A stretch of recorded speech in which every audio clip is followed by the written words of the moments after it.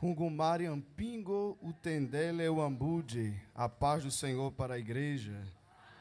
Meus irmãos, estamos felizes com o Senhor por esta oportunidade que Deus tem nos concedido de nesta noite estarmos aqui cercando a mesa do Senhor, juntamente com o nosso querido pastor presidente e a igreja do Senhor em Abreu e Lima.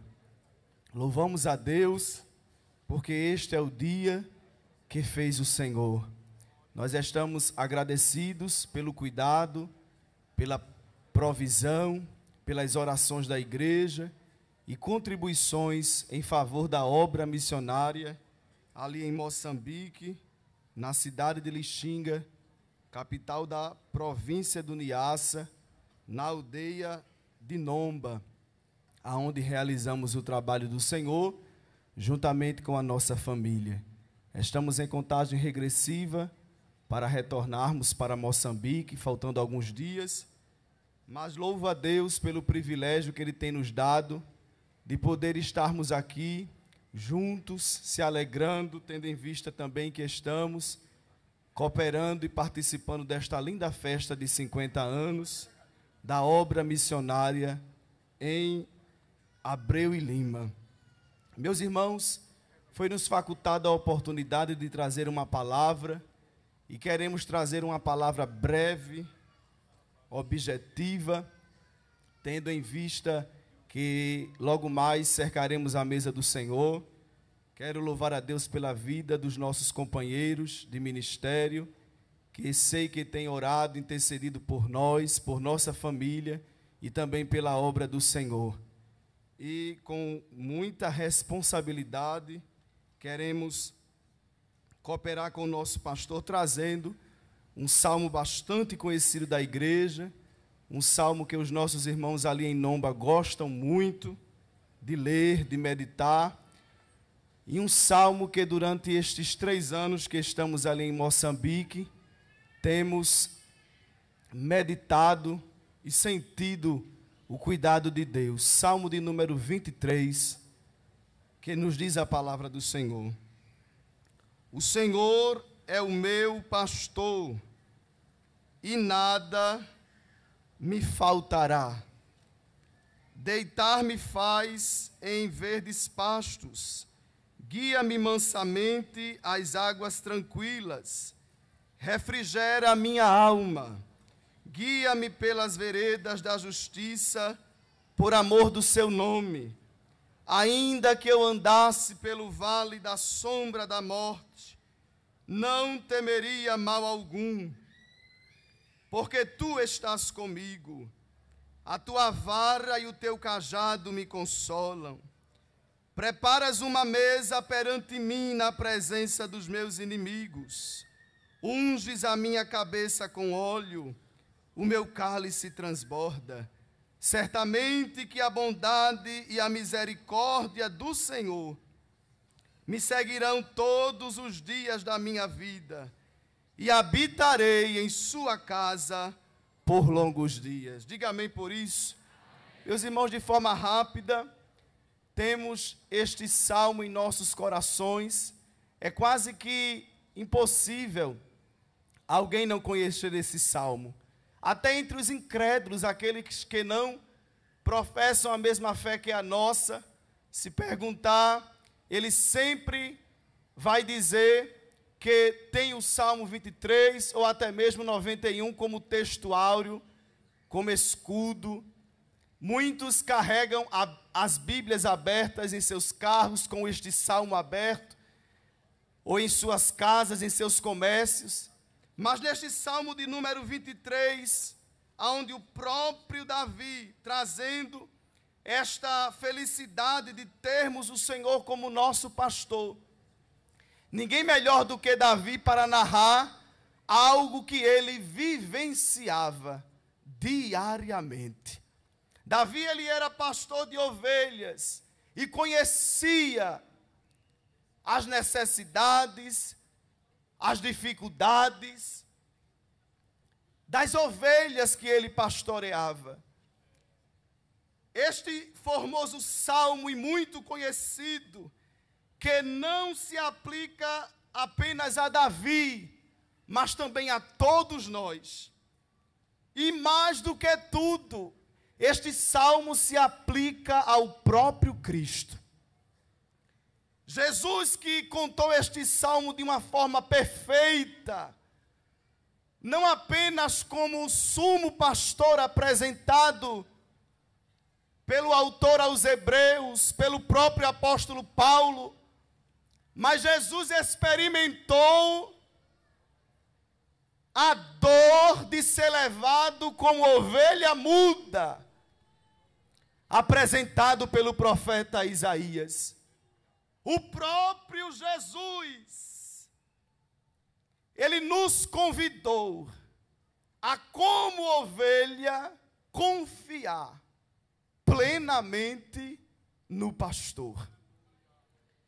Precisamos e devemos compreender que este salmo, ele não apenas quer nos trazer algo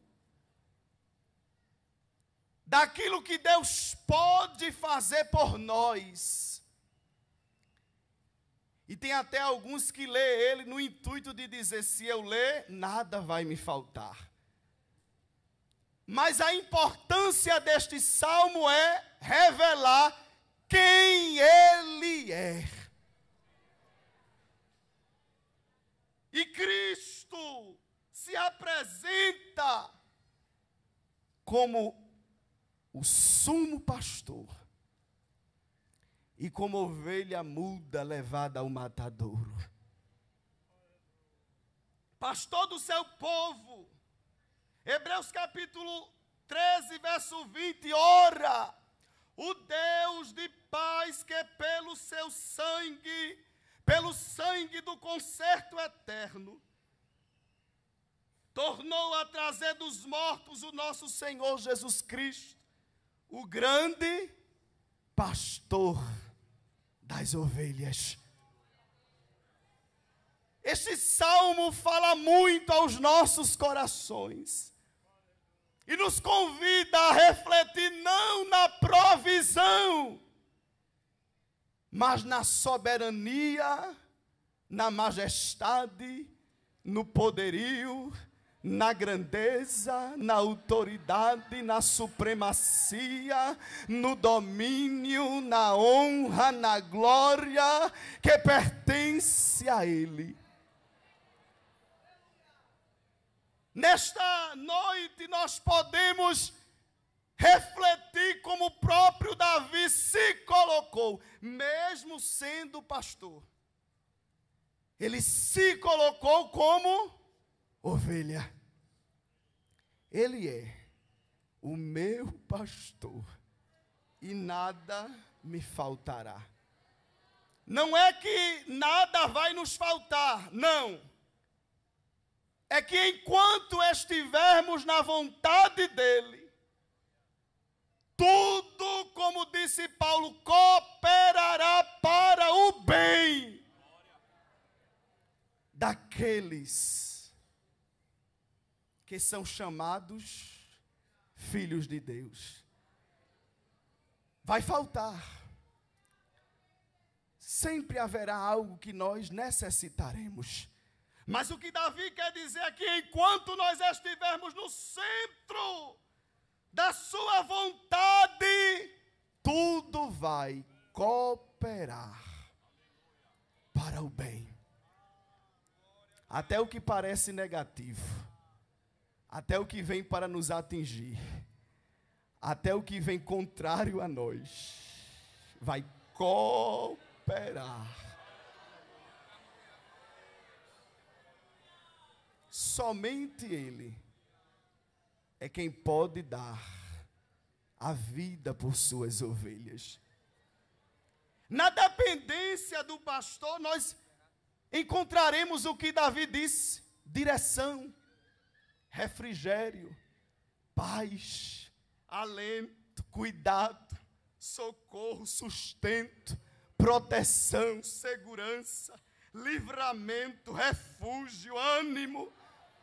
Davi se colocou como ovelha, dizendo: Eu tenho o bom pastor ao meu lado. de nada terei falta. Eu já concluo dizendo que é o bom pastor é quem reaviva, revigora, dá forças, dá abundância. Porque quando a ovelha sente sede, o pastor abriga, sacia a sua sede, com o cajado ele a livra do abismo, o sobre a sua cabeça, sarando as suas feridas. Por fim, enquanto ovelha, não faltará bondade e não faltará misericórdia do pastor. É bem verdade que no 4 nós vemos que a ovelha ela passa por vales, porque não tem como cortar caminho, não tem como atalhar. E Davi disse que é um vale da sombra da morte. Uma vez eu ouvi um certo jovem ministrar dizendo que o vale da sombra da morte é pior do que a morte. Porque a morte vem, matou, mas o vale da sombra fica ali assombrando. Aí você diz: Eu vou morrer, eu vou morrer. Mas o saudoso pastor Antônio Gilberto, em seu comentário, ele diz que sombra não é essência sombra não deve ser levada em consideração, porque a sombra se dissipa. Eu passei por este vale da sombra como ovelha. Quando em 2021 eu cheguei em Moçambique, em maio, enviei os documentos para a ministra na capital e por três meses não recebi resposta. E a ordem era: ou renova ou volta. E a igreja esperando, os irmãos aguardando, e a gente lá no vale da sombra da morte. Foi então que em agosto eu entrei em contato com uma pessoa de Maputo e ela foi lá porque estava engavetada e quando ela descobriu, tiraram o documento e no documento tinha renovação dos vistos indiferido por falta de documentação. Um certo funcionário que não professa a mesma fé que a nossa enviou o documento, mas os irmãos já entendem, né? E foi o envelope, mas um ficou. E a ministra disse: indiferido. E uma vez indiferido, saiam do país e comece o processo novamente. De maio até agosto. E agora começou um novo processo. Não podíamos sair de casa pela fé alugamos a casa, mobiliamos. Eu saía, voltava correndo com medo que a migração nos pegasse. A, mi a missionária não saía. E o vale era da sombra e da morte. Nós não comíamos, nós não dormíamos, o medo vinha e a ordem era: voltem para o Brasil e comece o processo do zero.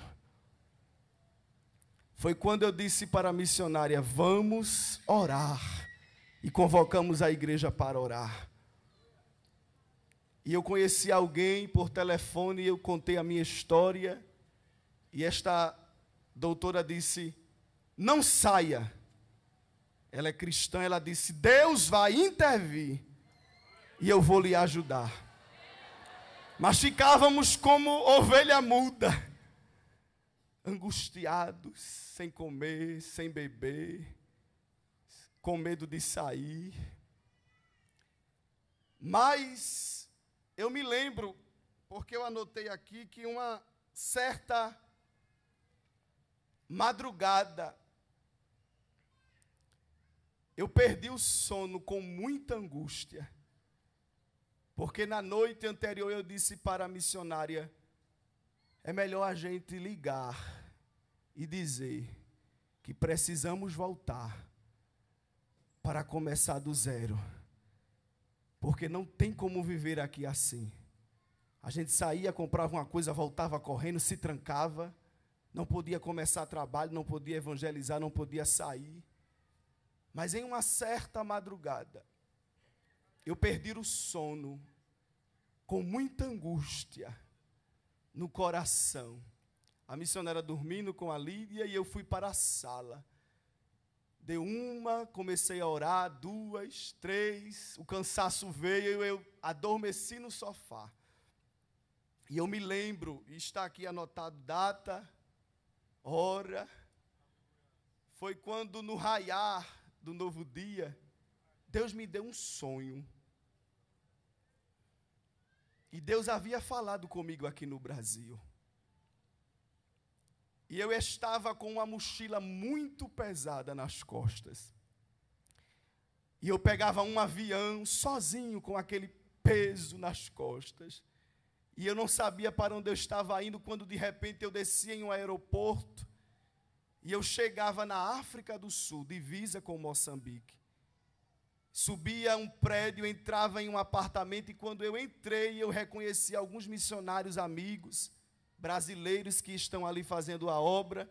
E eles disseram: Entra, Miltinho, a gente estava te esperando para começar o louvor, a oração. E eu entrei, mas a mochila não saía das minhas costas. Muita angústia, muito medo. Suor descendo porque eu tinha corrido, quando de repente a campainha tocou da porta. E o missionário disse: Eu não estou esperando ninguém. E quando ele abriu, para minha surpresa, no sonho, está aqui. Era o nosso pastor Roberto. E ele olhava para os que estavam na casa e dizia: Eu não vou me demorar. Eu só vim dizer a você que eu sou o seu pastor e nada vai lhe faltar. Agora receba um abraço, receba força e volte para o campo de batalha. E no abraço, irmãos, a mochila caía e eu me acordei a um som de um hino. E com 15 dias eu recebi a notícia que o funcionário tinha morrido. Quando ele morreu, eu corri para o gabinete do diretor e ele disse: Eu não acredito que tudo isto aconteceu com você. Eu disse: Aconteceu, doutor. Ele disse: Me dê os documentos e eu mesmo vou enviar. E para a glória de Deus, foram quase oito meses trancados. Mas em novembro, o que estava indiferido, agora estava dizendo assim: siga com os trâmites legais e continuem as documentações. E há três anos nós estamos renovando os nossos vistos e fazendo a obra do Senhor naquele país. Eu quero te dizer nesta noite: há um pastor chamado Jesus de Nazaré que não vai te deixar morrer neste vale de sombra e de morte. Há um pastor que guia suas ovelhas às águas tranquilas. E ele está te dizendo: receba força, revigore as suas forças nesta noite. Há um peso saindo das tuas costas. Eu esperei tanto para dizer isto aqui. E ontem eu senti este abraço. E eu disse: Deus, foi tu quem me abraçasse naquela madrugada. Eu queria concluir pedindo a você que, com muito carinho, olhe para a pessoa que está do seu lado e diga assim: O teu pastor está contigo nesta caminhada. Diz assim para ele: O teu pastor guiará os teus passos, te dará bondade te dará misericórdia. Ministério, o pastor dos pastores. O pastor dos pastores. Coloque a mão no ombro desta pessoa que está do seu lado. Não sei se o pastor Ivan pode me ajudar. Porque o hino daquela manhã foi 413 da harpa. Meu pastor é Jesus Cristo, nele quero confiar. Com Jesus não tenho falta, junto a Ele eu quero andar. Me conduz ao bom descanso para o campo verde em flor, refrigera assim minha alma, saciando-me de amor. Ele é teu companheiro. Com Jesus desejo andar, pois me dá vigor e força para que eu possa caminhar. Ele é dá coragem para nada eu temer, mesmo próximo à morte, certo estou que vou vencer. Caminhando ao seu lado, não mais temerei o mal seu bordão e seu cajado dão-me proteção real contra o meu inimigo. O Senhor sempre virá, me prepara uma mesa e comigo nele está. Se você puder, com carinho, fique de pé e abraça essa pessoa. Diga a ela, sinta o abraço do pastor, com permissão do nosso pastor. Unge a cabeça minha com óleo do seu amor. O meu gozo é transbordante pois meu cálice tem do sol por sua misericórdia e por seu sublime bem habitarei em sua casa eternamente. Amém. Agora você pode fazer a sua contribuição através do Pix, uma operação rápida, segura e sem custos. Abra o aplicativo do seu banco, clique na opção Pix e em seguida vá na opção Transferência. Depois é só digitar nossa chave Pix, que pode ser o nosso CNPJ 11 120 490 0001 86. Nosso e-mail contribua@eadalp.org.br ou nosso celular 81 98883 2755. Verifique se a contribuição é para a Igreja Evangélica Assembleia de Deus em Abreu Lima, Pernambuco. Confirme a transferência e depois siga o procedimento do seu banco. Anote nossas chaves Pix para não esquecer. CNPJ 11 120 490 0001 86. E-mail contribua@iadalp.org.br. Celular 81 98883 2755.